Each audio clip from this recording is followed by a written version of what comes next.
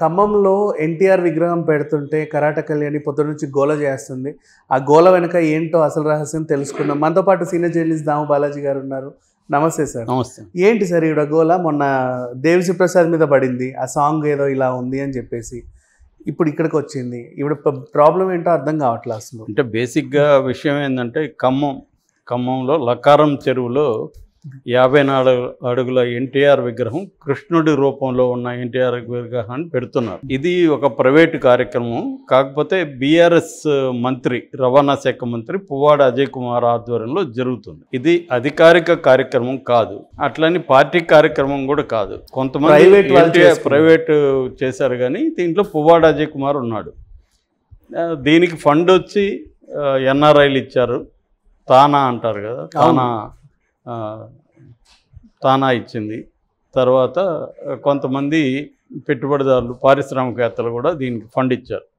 దీన్ని ఈ నెల ఇరవై ఎనిమిదిన ఎన్టీఆర్ శత జయంతి రోజు దీన్ని ఆవిష్కరించాలని ప్లాన్ చేస్తున్నారు. ఇది దాని నేపథ్యం. దీనికి జూనియర్ ఎన్టీఆర్ని పిలిచారు. ఇప్పుడు ఇక్కడ కరాటే కళ్యాణి యాదవ సంఘాలు తర్వాత తెలుగుదేశం ఈ మూడు గ్రూపులు వ్యతిరేకిస్తున్నాయి. రకరకాల కారణాలతో. తెలుగుదేశం తెలుగుదేశం ఎందుకు వ్యతిరేకిస్తుందంటే మీరు కమ్మ ఓట్ల కోసం గాలం వేస్తున్నారు. తొమ్మిదేళ్ళుగా మీరెందుకు ఎన్టీఆర్ని పట్టించుకోవట్లేదు? ఇక్కడ ఉంది కదా హైదరాబాద్లో ఎన్టీఆర్ ఘాట్. అది ఉంది కానీ మీరు ఎప్పుడన్నా ఎన్టీఆర్ జయంతికో వర్ధంతికో పోయి అక్కడ నివాళులు అర్పించారా? ఎప్పుడు మీరు ఎన్టీఆర్ని పట్టించుకోలేదు? ఇప్పుడు ఎందుకు చేస్తున్నారు?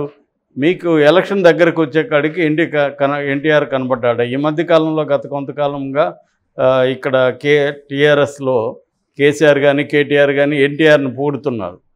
సో ఇదంతా ఎందుకు చేస్తున్నారంటే మీకు ఓట్ల రాజకీయం ఇది అంతకంటే ఏం లేదు ఓటు బ్యాంక్ రాజకీయం అని టీడీపీ విమర్శిస్తుంది. ఇక కరాటే కళ్యాణ్ ఎందుకు విమర్శిస్తుందంటే ఆమె చెప్పేది ఏం చెప్తుందంటే మీరు ఎన్టీఆర్ విగ్రహాన్ని పెట్టుకోండి ఎన్టీఆర్ ఫ్యామిలీని పిలవండి ఆవిష్కరించుకోండి. ఆయన్ని మా కులదైవం అంటే యాదవ కులదైవం అయిన కృష్ణుడి రూపంలో ఎందుకు పెడుతున్నారు? ఆయన దాన్ని మేము. దాన్ని మేము వ్యతిరేకిస్తున్నామని ఆవిడ చెప్తుంది. సో ఇది ప్రధానంగా వివాదం అనమాట ఇక్కడ చూస్తే ఫస్ట్ అసలు బీఆర్ఎస్ అనఫిషియల్గా అయినా బీఆర్ఎస్ఏ దాన్ని చేస్తుంది. బీఆర్ఎస్ ఎందుకు చేస్తుంది? ఖచ్చితంగా ఓటు రాజకీయమే. వాళ్ళకి అక్కడ ఖమ్మంలో కమ్మాస్ ఒక యాభై వేల ఓట్లు ఉన్నాయని ఈమె చెప్తుంది. నాకైతే కరెక్ట్గా తెలీదు. కరాటే కళ్యాణ్ ఏం చెప్తుందంటే కమ్మల ఓట్లు అక్కడ యాభై వేలు ఉన్నాయి యాదవుల ఓట్లు నలభై ఐదు వేలు ఉన్నాయి. ఇంకెవరున్నారు ఐదు శాతం? వేలు వేలు పర్సంటేజ్. ఈ వేలు ఉన్నాయి. వీళ్ళ ఈ దాదాపు లక్ష అనుకోండి ఈ లక్ష ఓట్లకు గాలం కోసమే గాలం వేయడం కోసమే ఈ పని చేస్తున్నారని సో ఒక విలేకరు అడిగారు ఏమమ్మా ఒక విగ్రహం పెట్టగానే యాభై వేల ఓట్లు వచ్చి పడిపోతాయా? నలభై ఐదు వేల ఓట్లు వచ్చి పడిపోతాయి? అంటే లేదు సార్ అదొక స్ట్రాటజీ అని అరుస్తున్నాము సో ఇక్కడ ఏంటంటే ఖచ్చితంగా కా ఒక కమ్మ సెక్షన్ని అట్రాక్ట్ చేయడం కోసం బీఆర్ఎస్ చేస్తుంది. దాంట్లో తప్పేం లేదు. రాజకీయాలు అంటే కులాలు ఉన్నాయి మతాలు ఉన్నాయి అన్నిటినీ చేస్తుంది బీజేపీ చేయట్లేదా? ఇప్పుడు అక్కడ ఈమె అరుస్తుంది ఒక మాట హిందూ మతాన్ని ఉపయోగించుకుంటారా మీరు? అది అరుస్తుంది. మతాన్ని బీజేపీ కంటే ఉపయోగించుకున్న వాళ్ళు ఎవరు లేరు. ఏం బీజేపీ సపోర్టరే కదా. బీజేపీ కంటే మతాన్ని ఉపయోగించుకునేది ఈ దేశంలో ఎవరున్నారు?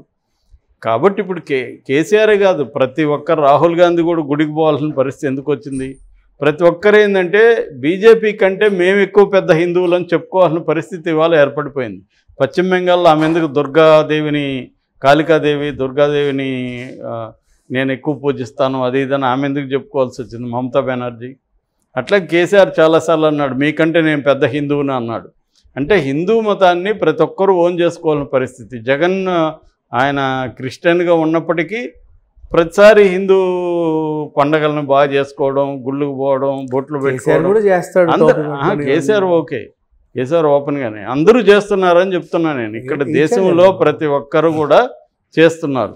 ఒక బీఆర్ఎస్ఏ చేస్తున్నట్టుగా ఈవిడ విమర్శిస్తుంది.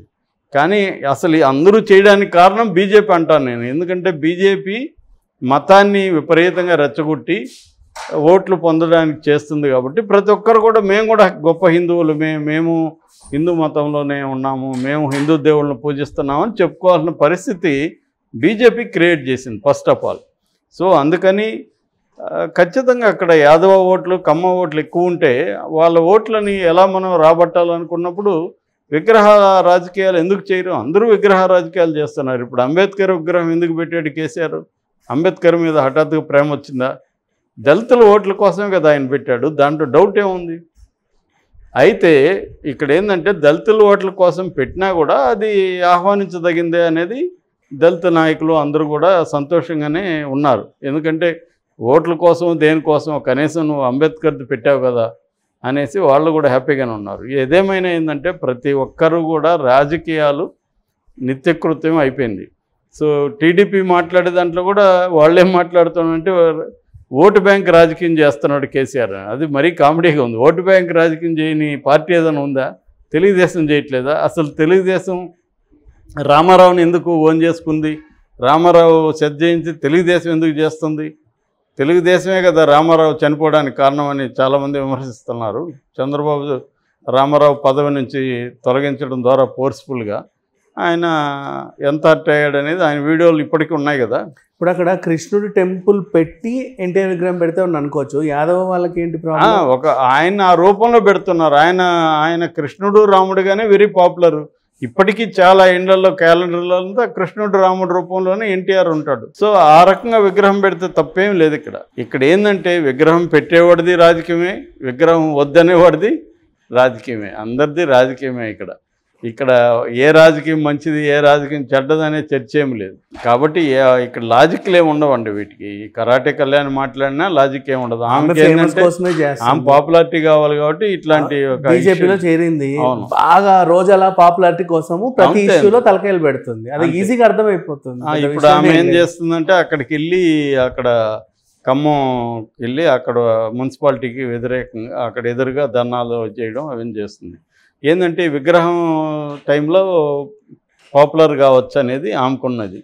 కానీ నేను అనుకోవడం ఈమె ఆందోళన చేసినంత మాత్రాన విగ్రహావిష్కరణ ఆగుతుందని అయితే నేను అనుకోవట్లే. ఎందుకంటే దాని వెనక బీఆర్ఎస్ ఉంది కాబట్టి ఖచ్చితంగా చేస్తారు.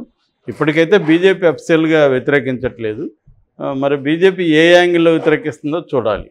అంటే ఇది యాదవులకి ఎందుకు బాధ ఏముంది మీకు మీ రూపంలో ఉన్న కృష్ణుడు పెడితే మీకు తప్పేముంది? మీకేం వచ్చే ప్రాబ్లం ఏముంది ఇక్కడ ఇంకో ఇక్కడ యాదవులందరూ కూడా ఏమి హర్ట్ అయ్యే పరిస్థితి లేదండి. వీళ్ళు సెల్ఫ్ స్టైల్డ్ యాదవ రిప్రజెంటేటివ్స్ ఈమెను ఎవరైనా యాదవ రిప్రజెంటేటివ్గా ఎన్నుకున్నారా? లేదు.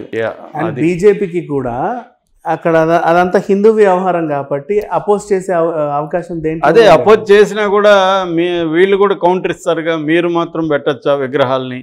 మీరు కూడా హిందూ విగ్రహాలను బోల్డ్ పెట్టారు కదా. అట్లాగే మేము కూడా పెడతాం తప్పేముంది ఆయన ఆయన అనేక వేషాలు వేశాడు. సో అని చెప్తారు. ఒకవేళ పార్క్ లాగా చేసి ఎన్టీఆర్ విగ్రహం పెడితే తప్పే ఉంది. ఇది కూడా అంబేద్కర్ పార్క్ అంబేద్కర్ విగ్రహం. ఇంకోటి తెలుగుదేశం వ్యతిరేకించడానికి ఇంకొక కారణం కూడా ఉంది. అదెందుకంటే తెలుగుదేశంలో బలంగా ఇప్పుడు జూనియర్ ఎన్టీఆర్ని వ్యతిరేకిస్తున్నారు వాళ్ళు. అందుకని ఈ విగ్రహం పెట్టి నందమూరి కుటుంబ సభ్యులను పిలవకుండా ఎన్టీఆర్ని జూనియర్ ఎన్టీఆర్ని ఎందుకు పిలుస్తున్నారు అనేది వాళ్ళ ఆరోపణ. మరి మొన్న అక్కడికి ఎన్టీఆర్ని కళ్యాణ్ అక్కడనే- పిలవలేదుగా బాగా. అదే. రజనీకాంత్ అవును వాళ్ళు నందమూరి కుటుంబం కాదని కదా వాళ్ళ ఉద్దేశం. సో అందుకని ఏంటంటే ఇక్కడ అది కుటుంబ వివాదంగా కూడా మారుతుంది అనమాట అంటే ఎన్టీఆర్ విగ్రహం ఎక్కడ పెట్టినా నందమూరి కుటుంబాన్ని అంతా పిలవాలని రూల్ ఏముంది? ప్రతి దగ్గర పిలవాలని రూల్ ఏముంది? వాళ్ళకి నచ్చిన వాళ్ళని పిలుస్తారు.